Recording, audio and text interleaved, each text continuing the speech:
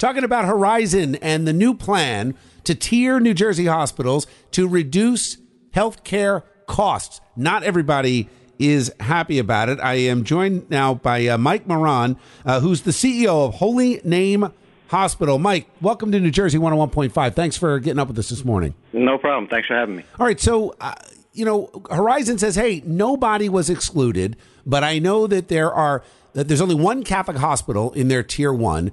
So, what what is your issue with what Horizon is doing?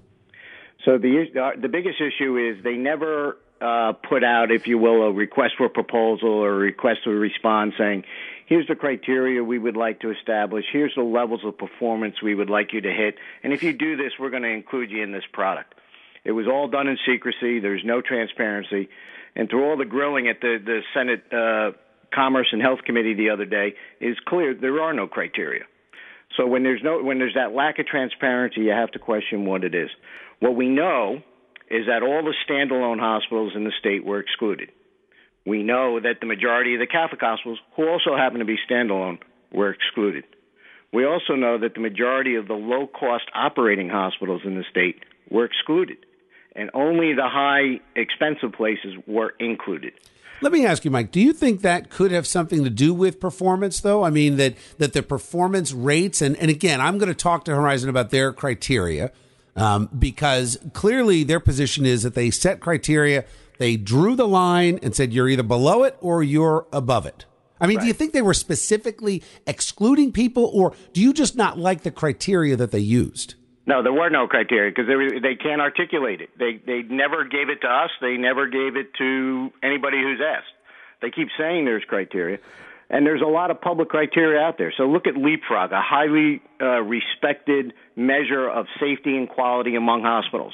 If you take all the Leapfrog scores, Tier one hospitals only score around 33 percent.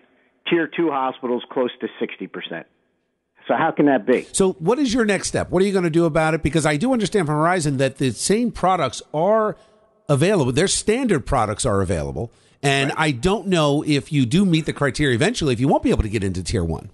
Right. Well, so that's the case. So there, again, no, no clear, apparent, transparent criteria. Uh, there are a ton of. Uh, we're a great client. We, we, Blue Cross has, has been a great partner of ours for years. We want that to continue.